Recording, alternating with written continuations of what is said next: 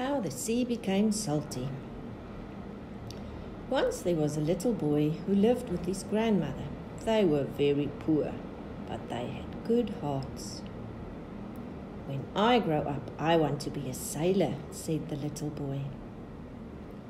When the boy was ready to leave the house, his grandmother gave him a magic mill. The mill will give you anything you wish for, said the grandmother. But remember to use these magic words. You have to say please if you want something, and if you want the mill to stop, you have to say stop, mill, stop. The boy sailed off with a ship and traveled to many countries. He didn't have enough money to buy all the beautiful things he saw. So he asked his magic mill, Please, magic mill, please, I need gold coins, said the boy. Soon there were lots of gold coins streaming from the mill. Stop, mill, stop, said the boy. He was now richer than all the other sailors.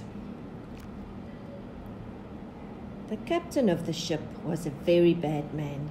He made the sailors work very hard and he hardly gave them enough to eat. I know what I will do, thought the boy. I will ask my magic mill for bread. Please, Mole, please, I need bread.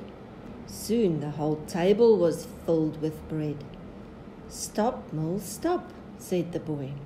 The sailors were so happy they hold, held a big feast through the night. When the captain heard about the feast, he was very angry. Where did you get that bread? he yelled. But the boy didn't want to tell him, so the captain followed him around. When he saw what the boy did with the mill, he yelled, Bring your magic mill and make me some chickens. I want chickens for dinner. The boy was very scared. He said, Please, mill, please make chickens. And soon the whole cabin was filled with chickens. Stop, mill, stop, said the boy. The captain was very impressed by the magic mill. He had to make a plan to get hold of it. So at their next stop, he left the boy behind and sailed away. Oh no, thought the boy, the captain does not know the magic words. The captain thought, What will I ask for first? I will ask for salt. So he asked the magic, Please, may I have salt? Soon the salt started streaming from the mill whole cabin was filled with salt. Enough, enough, yelled the captain. But the mill would not stop. Soon the whole ship was filled with salt. Enough, enough, yelled all the sailors, but the mill did not stop.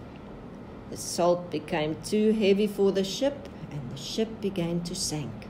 The magic mill sank to the bottom of the ocean, where it is still making salt today and that is how the sea became salty.